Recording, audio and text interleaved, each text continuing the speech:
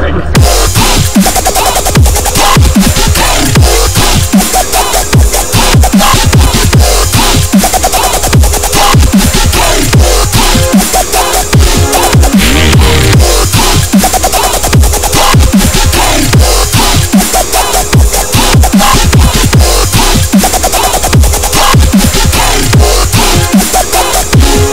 Ah!